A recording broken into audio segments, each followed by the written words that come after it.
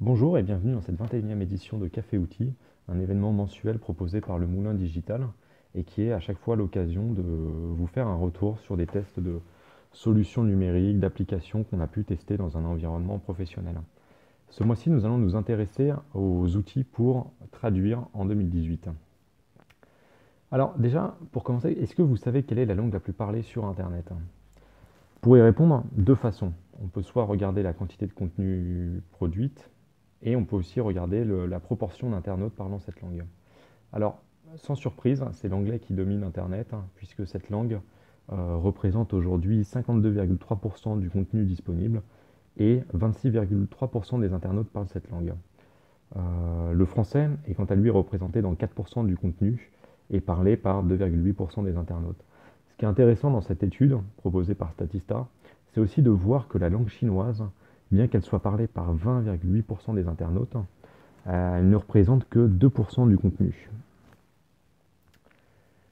Alors, si on devait donner trois règles de base sur la traduction, déjà, ce serait de bien définir le contexte dans lequel on a besoin de traduire. Par exemple, si c'est pour des supports professionnels, euh, évitez de le faire vous-même. Vous pouvez voir sur le côté là trois exemples, que ce soit euh, crispez-vous à l'occasion d'un atterrissage d'urgence, fabriqué en dinde, ou prévoyez une petite gâterie sur cet emballage de gâteau. Euh, ça nous apprend aussi une règle qui est de ne pas faire confiance au traducteur automatique.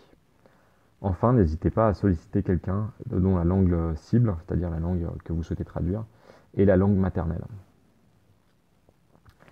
Le premier outil indispensable, c'est Word Reference. C'est le dictionnaire en ligne qui est gratuit. Il existe depuis 1999 en 18 langues.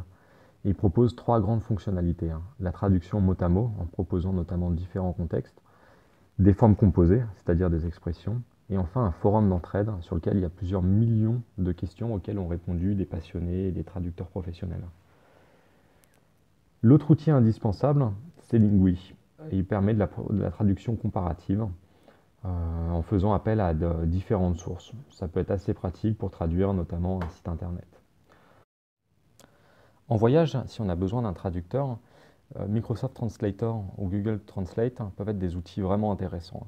En effet, ils proposent euh, dans leur fonctionnalité de traduire euh, directement avec la reconnaissance vocale. Peut-être que ça vous permettra de, vous faire comprendre ou au moins de savoir comment prononcer et dire certaines phrases.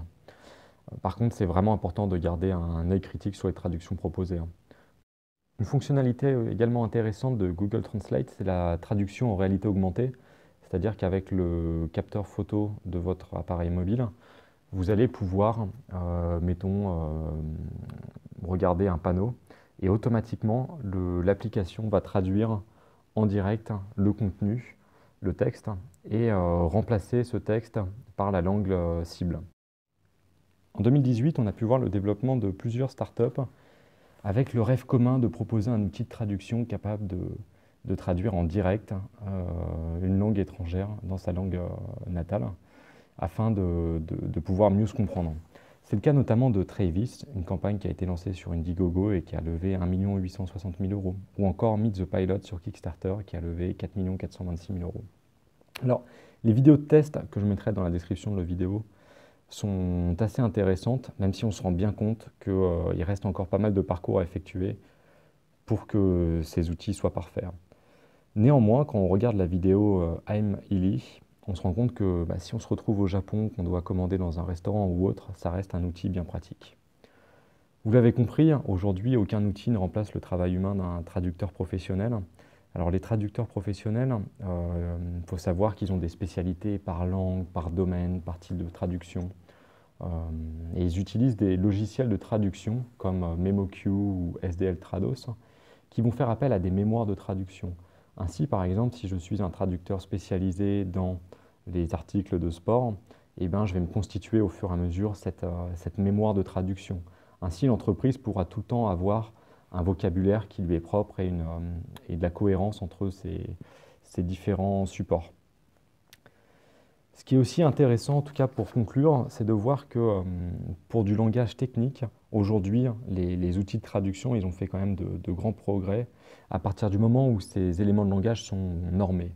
Par contre, dès qu'on va sur des domaines plus subjectifs, où on a un besoin voilà, d'un contexte plus important, c'est beaucoup plus compliqué pour ces outils de traduction. On peut prendre l'exemple d'un menu de restaurant en France, ce ne serait pas évident de le traduire.